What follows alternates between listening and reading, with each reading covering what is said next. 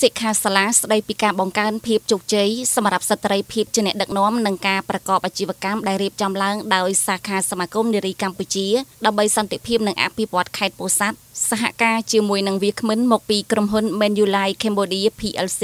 និងលោកស្រីច័ន្ទភារីនាយិកាក្រុមហ៊ុន Revlon ប្រចាំប្រទេសកម្ពុជាបានប្រារព្ធធ្វើនៅមជ្ឈមណ្ឌលអភិវឌ្ឍបុណ្យរនីហ៊ុនសែនពោធិ៍សាត់នាព្រឹកថ្ងៃទី25ខែឧសភាឆ្នាំ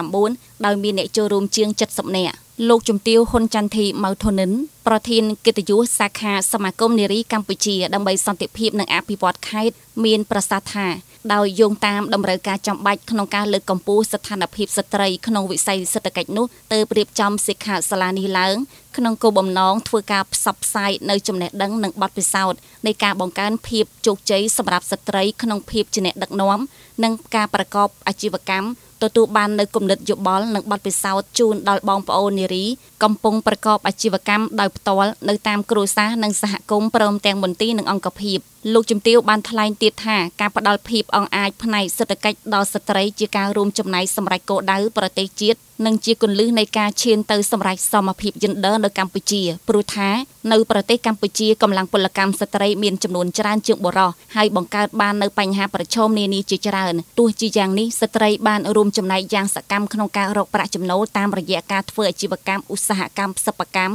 កសិកម្មដែលមានប្រមាណ80%នៃកម្លាំងពលកម្មលោកជំទាវអែមប៉ុណ្ណាសមាជិការដ្ឋសភាមណ្ឌលពោធិ៍សាត់និងជាសមាជិកាប្រតិបត្តិថ្នាក់កណ្ដាល សមាគមនារីកម្ពុជាដើម្បីសន្តិភាពនិងអភិវឌ្ឍសាខាខេត្តពោធិ៍សាត់បានថ្លែងថាទន្ទឹមនឹងភាពរីកចម្រើនស្ត្រីទទួលបានការងារធ្វើនិងទទួលបាននៅប្រាក់ចំណូលកាន់តែខ្ពស់ជំរុញឲ្យស្ត្រីមានឱកាសគ្រប់គ្រាន់ក្នុងការចូលរួមធ្វើសេចក្តីសម្រេចចិត្តនៅគ្រប់លំដាប់ថ្នាក់ពិសេសនៅក្នុងគ្រួសារនិងសង្គមតែទោះជាយ៉ាងនេះបើផ្អែកតាមការសង្កេតឃើញថាស្ត្រីនៅជួបបញ្ហាមួយចំនួនក្នុងការរកប្រាក់ចំណូលដូចជាចំណេះដឹងនៅមានកម្រិតនៅតែធ្វើការចំណាក់ស្រុកដោយប្រថុយប្រឋាន ជួបភាពបរាជ័យក្នុងការបំពេញការងារនិងធ្វើអាជីវកម្មខ្វះការតស៊ូនិងបោះបង់ចោលអាជីវកម្មរបស់ខ្លួនលោកជំទាវបានថ្លែងជម្រាបជូនថាស្ត្រីមានសក្តានុពលជាច្រើនក្នុងការបង្កើតនិងពង្រីកអាជីវកម្មខ្នាតតូចនិងមធ្យមប៉ុន្តែទាមទារឲ្យស្ត្រីត្រូវចេះបែងចែកពេលវេលាប្រកបដោយសមស្របសម្រាប់ការគិតគូរគ្រប់គ្រងថែរក្សាកូនចៅផ្ទះសម្បែង